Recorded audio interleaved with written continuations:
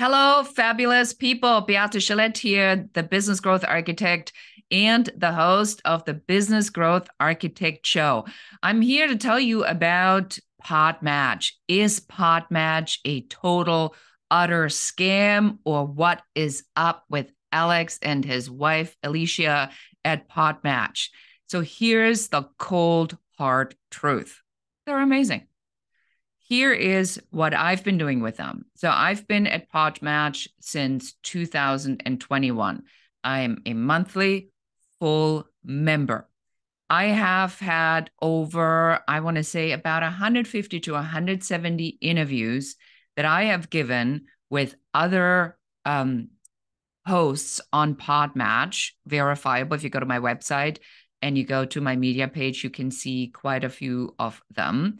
And as a host, I'm also have been able to receive quite a few of guests on my own show.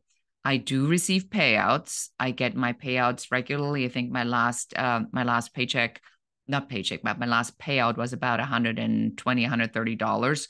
So whatever Alex says, that's what Alex does and not just that but i've also you know like it so much that i've i've i've agreed to be in the PodMatch host mastery book.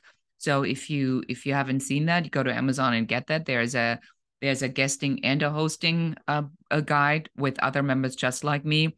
But i will tell you you know this whole thing sometimes what happens is that people have a hard time to understand what a new business model looks like. I'm a business strategist, so I do business models for a living. And I always look, what is the model? That model that Alex says he has at Podmatch is the model that Alex follows.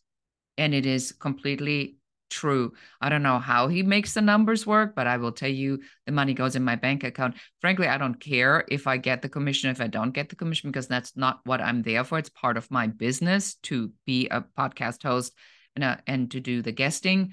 You have to decide that for yourself. But if you have any questions about Alex or Podmatch, you know, reach out, DM me uh, drop in my Instagram or in my LinkedIn and just ask me a question. Happy, happy to tell you everything about them. I think they're very good people. I have not seen anything that was evidence to the contrary. So um, if you're thinking about PodMatch go ahead and sign up and you'll be probably as happy as I am. But you know, be clear, this is a business decision. If you make a business decision, it typically is involved with work. So if you do the work, you get the results, as my friend Chris Williams says. All right, that's it. And this is Beate Chelette, and goodbye.